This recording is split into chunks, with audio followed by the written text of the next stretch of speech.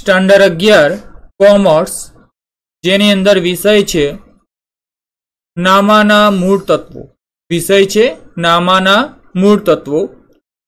જેમાં ચેપ્ટર એક, હિસાબી પદ્ધતિ અને તેના પારિભાષિક શબ્દો, જે અગાઉ આપણે પૂર્ણ કરેલ છે.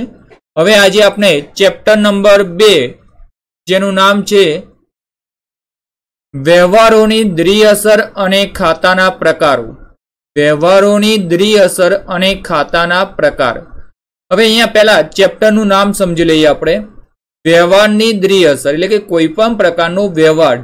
માલની ખરીદીને લગતો વ્યવહાર, માલના વેચાણને લગતો વ્યવહાર, કોઈને પગાર ચૂકવ્યો હોય એવો વ્યવહાર, કોઈ જગ્યાએથી આપણને આવક મળી હોય એવો વ્યવહાર, એટલે કોઈ પણ એવા માલ, મિલકત કે સેવાને લગતા વ્યવહારોની. દ્રિ દ્વિ અસર એટલે કે ઓછામાં ઓછી બે અસર. સમજી લેજો. વ્યવહારોની બે અસર. અને ખાતાના પ્રકાર, એટલે કે આપણે દરેક જે વ્યવહાર બને છે વ્યવહારની અંદર સંકળાયેલા જે પણ ખાતા હોય, એ ખાતાને કયા પ્રકાર આપવામાં આવશે, તેની સમજૂતી હવે અહીંયા આપણે લેવાની છે આ ચેપ્ટરમાં. તો અહીંયા ચેપ્ટરની શરૂઆત સૌપ્રથમ આપણે કરીએ છીએ કે ધંધાકીય વ્યવહારનો અર્થ. આપણે વ્યવહાર કહીએ, પણ ધંધાકીય વ્યવહારનો અર્થ. તો ધંધાકીય વ્યવહારનો અર્થ જોઈએ, તેમાં કહ્યું છે, બે કે વધુ વ્યક્તિઓ વચ્ચે ધંધા માટેની વસ્તુઓ બે કે વધુ વ્યક્તિઓ વચ્ચે, ધંધા માટેની વસ્તુઓ કે સેવાની રોકડમાં કે ઉધાર ફેરબદલી. રોકડામાં કે ઉધાર ફેરબદલી. એટલે અહીંયા ધ્યાન આપજો, જ્યારે કોઈ બે વ્યક્તિઓની વચ્ચે માલ, મિલકત કે સેવાને લગતા કોઈ પણ પ્રકારની આપલે થતી હોય, માલ, મિલકત કે સેવા કોઈ પણ પ્રકારની આપલે થતી હોય અને તે સમયે તરત જ રોકડા પૈસા પાછા મળતા હોય કે ચૂકવતા હોઈએ આપણે? અથવા ભવિષ્યમાં રોકડા પૈસા મળવાના કે આપવાના હોય? તો એવા વ્યવહારો, ધંધાકીય વ્યવહારો કહેવાય છે. આ ધ્યાનમાં રાખજો. ત્યાર પછીનો પોઈન્ટ છે. ધંધાકીય વ્યવહારનું હવે વર્ગીકરણ. ધંધાકીય વ્યવહારનું હવે આપણે શું કરીશું? વર્ગીકરણ. તે વર્ગીકરણની અંદર એના મુખ્ય બે ભાગ છે. આર્થિક વ્યવહાર અને બીજો ભાગ છે બિન આર્થિક વ્યવહાર. તો હવે આર્થિક વ્યવહાર કોને કહેવાય એ સમજી લઈએ આપણે. ધંધાના એવા વ્યવહારો જેમનું નાનામાં મૂલ્ય માપી શકાય. ધંધાના એવા વ્યવહારો જેમનું નાનામાં મૂલ્ય માપી શકાય. કે જ્યાં નાનાની લેવડ દેવડ તાત્કાલિક રોકડમાં કે ભવિષ્યમાં થવાની હોય, તેવા વ્યવહારોને આર્થિક વ્યવહાર કહેવાય છે. એટલે કે આપણે ચોપડી ખરીદી. સમજો, પાંચસો રૂપિયા આપીને ચોપડી ખરીદી. તો પૈસાની તરત જ વ્યવહારમાં આપલે થઈ. તે આર્થિક વ્યવહાર થયો. કેમ કે એની અંદર નાણાકીય મૂલ્ય સમાયેલું છે. સમજી લેજો.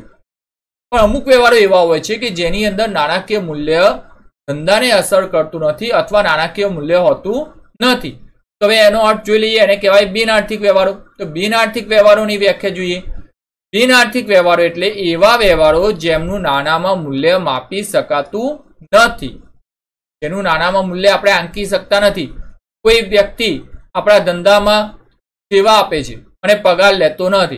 તો એ સેવાનું આપણે શું નાનામાં મૂલ્ય આંકી શકીશું? ના, એને આપણને સેવા આપી છે અને પૈસા તો લીધા જ નથી. તો એ જે સેવાનો લાભ મળ્યો એનું નાણાકીય મૂલ્ય આંકી શકાય નહીં. તો એટલા માટે અહીંયા ધ્યાન આપજો. જે એવા વ્યવહારો હોય કે જેમાં ભવિષ્યમાં કે તરત રોકડ રૂપિયા એટલે કે નાણું ફેરબદલીના માધ્યમ તરીકે વપરાતું હોય.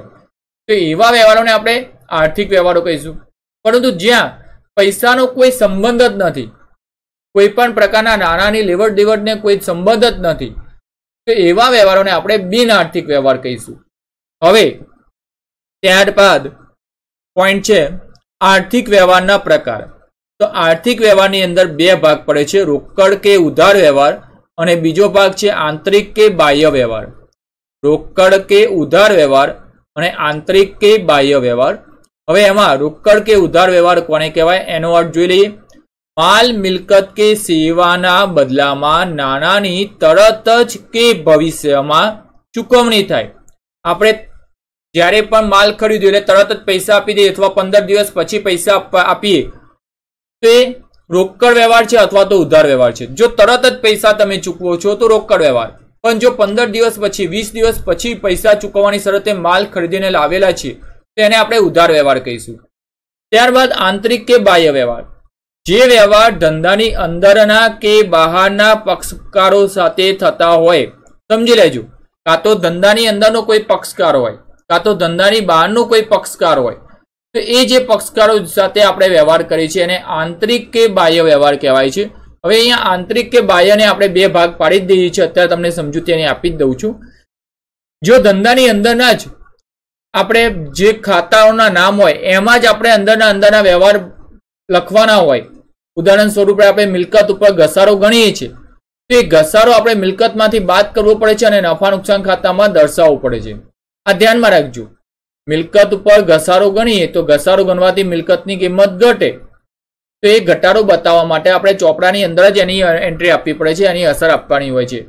તે આંતરિક વ્યવહાર થયો પરંતુ જો ધંધાની કોઈ બહારના વ્યક્તિ જોડે આપણે હિસાબ કરવાનો હોય, કે ભાઈ સમજો લેનદાર છે, તો લેનદારના પૈસા માંડી વાળવાના છે. તો લેનદારના પૈસા માંડી વાળવાના એટલે આપણે બહારના જે પક્ષકારનું નામ છે, એની જોડેનો વ્યવહાર પતાવવો પડશે. એના ચોપડામાં પણ એ અસર અપાવવી પડશે. તો એ બાહ્ય વ્યવહાર થયો. તો અહીંયા જે વ્યવહાર ધંધાની અંદરના કે બહારના પક્ષકારો પાસે થતા હોય, તેવા વ્યવહારોને આંતરિક કે બાહ્ય વ્યવહાર કહે છે. હવે ત્યાર પછીનો પોઈન્ટ રોકડ કે ઉધાર વ્યવહાર, એના પ્રકાર. તો રોકડ કે ઉધાર વ્યવહારના ત્રણ પ્રકાર છે. એમાં પહેલો ભાગ છે રોકડ વ્યવહાર, બીજો ભાગ છે ઉધાર વ્યવહાર, ત્રીજો ભાગ છે અન્ય વ્યવહાર. તેમાં સૌ પ્રથમ આપણે રોકડ વ્યવહાર કોને કહેવાય એ સમજી લઈએ. તો એકદમ સામાન્ય વસ્તુ છે કે જ્યારે પણ રોકડ કે બેંકમાંથી પૈસાને આપલે થઈ શકતી હોય, આપણે કોઈ વસ્તુ ખરીદી, તરત જ રોકડા આપ્યા, અથવા ચેક આપી દીધું, અથવા બેંકમાંથી પૈસા આપી દીધા. અત્યારે બધા ઓનલાઈન ટ્રાન્ઝેક્શન કરે છે, મોબાઈલ બેન્કિંગ કરે છે. તે બધા કયા વ્યવહાર છે? રોકડ વ્યવહાર છે. તો હવે એનો અર્થ જોઈ લઈએ. માલ મિલકત કે સેવાના બદલામાં, માલ મિલકત કે સેવાના બદલામાં નાનાની તરત જ ચૂકવણી થતી હોય.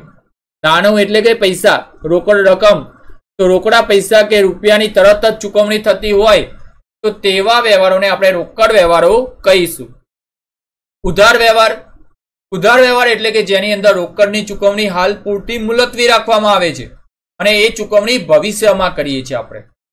તો અહીંયા એની વ્યાખ્યા જોઈએ. માલ, મિલકત કે સેવાના બદલામાં નાનાની ચૂકવણી મુલતવી રાખેલ હોય છે કે જેની ચૂકવણી ભવિષ્યમાં થાય, તેવા વ્યવહારોને ઉધાર વ્યવહાર કહે ત્યારબાદ અન્ય વ્યવહાર, જેને બીજા શબ્દમાં કહેવાય વિશિષ્ટ વ્યવહાર. આ ધ્યાનમાં રાખજો. અન્ય વ્યવહારને બીજું નામ કહીએ તો વિશિષ્ટ વ્યવહાર કહેવાય છે.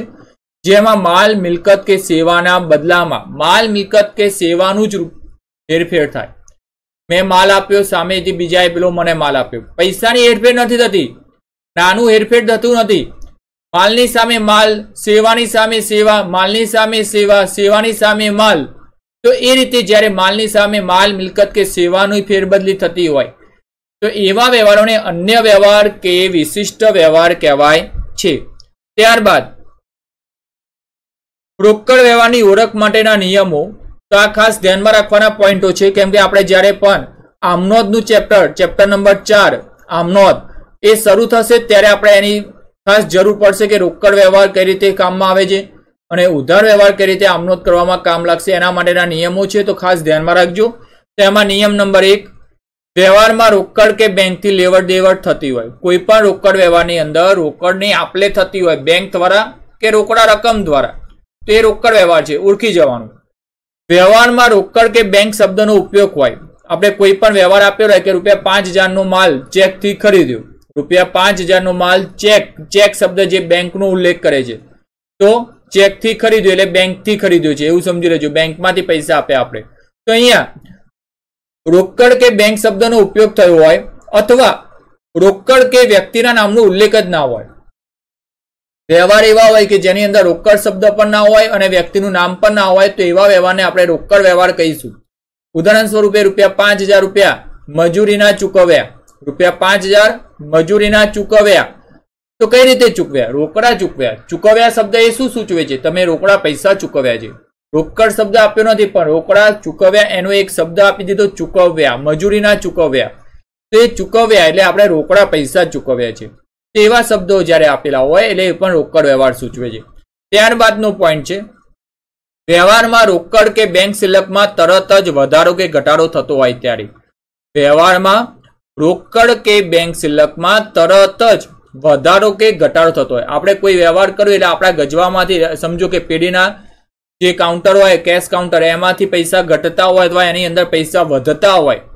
પૈસા આવ્યા તો આવે તો વધ્યા અને પૈસા આપણે કોઈને આપીએ તો જાય, તો ઘટી જાય પૈસા. તે રીતે જ્યારે બેંક સિલક કે રોકડ સિલકમાં વધારો કે ઘટાડો થતો હોય તો એવા વ્યવહારો પણ રોકડ વ્યવહાર છે. ત્યાર પછીનો હવે નવો પોઈન્ટ ઉધાર વ્યવહારની ઓળખ માટેના નિયમો. તો ઉધાર વ્યવહારમાં ખાસ ધ્યાન રાખજો. પહેલો પોઈન્ટ વ્યવહારમાં રોકડ કે બેંકથી લેવડ દેવડ થતી ના હોય. આપણે જ્યારે પણ ઉધાર વ્યવહાર હોય તેમાં રોકડ કે બેંકનો વ્યવહાર થતો નથી. એના પછી બીજા નંબરનો પોઈન્ટ છે, વ્યવહારમાં ઉધાર કે શાક શબ્દનો ઉપયોગ હોય.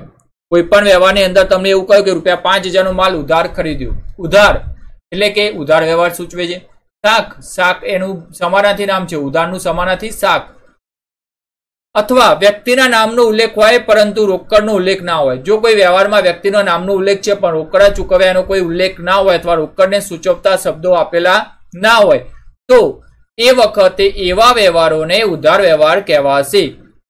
એના પછીનો પોઈન્ટ વ્યવહારમાં રોકડ કે બેંક સિલકમાં તરત જ વધારો કે ઘટાડો થતો ના હોય. આપણે કોઈ પણ વ્યવહાર કર્યો, તો એ વ્યવહારમાં રોકડા પૈસા આવતા પણ નથી, જતા પણ નથી, એટલે રોકડ સિલક ઘટશે પણ નહીં અને વધશે પણ નહીં. ત્યાર પછીનો પોઈન્ટ છે, વ્યવહારમાં લેનદાર કે દેવાદારનો સંબંધ ઊભો થતો હોય. વ્યવહારમાં લેનદાર કે દેવાદારનો સંબંધ ઊભો થતો હોય, એટલે કે લેનદાર અને દેવાદારનો સંબંધ ક્યારે ઊભા થાય? જ્યારે ઉધાર ખરીદી કે ઉધાર વેચાણને લગતા વ્યવહારો હોય, ત્યારે. તો અહીંયા, આજે અહીંયા સુધી રાખીએ છીએ. આનાથી આગળ આપણે નેક્સ્ટ વીડિયો લેક્ચરમાં તમને આગળ સમજાવીશું.